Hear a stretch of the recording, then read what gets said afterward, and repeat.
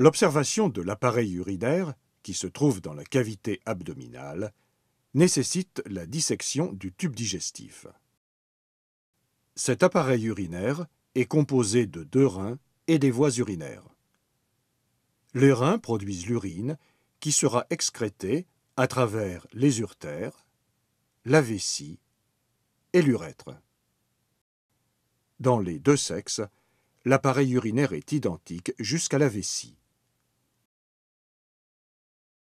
Les reins sont deux organes de couleur brune, en forme de haricot, placés sur la face dorsale de la cavité abdominale. Sur la partie antérieure des reins sont visibles les capsules surrénales, entourées d'une masse adipeuse. Ces deux glandes à rôle endocrine ne font pas partie de l'appareil excréteur. De la partie concave des reins partent les urtères, deux conduits qui transportent l'urine jusqu'à la vessie urinaire.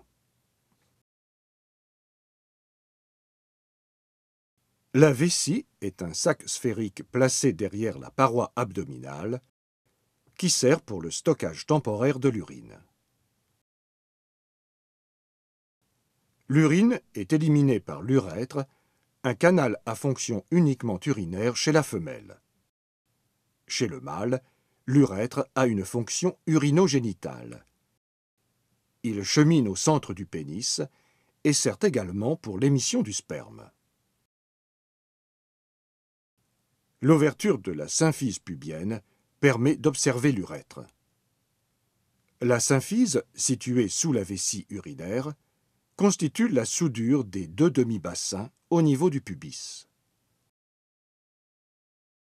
Après avoir sectionné la symphyse pubienne à l'aide des ciseaux, les deux moitiés du bassin sont écartées. Cette dissection permet d'observer le parcours de l'urètre qui se termine au niveau de la papille urinaire chez la femelle.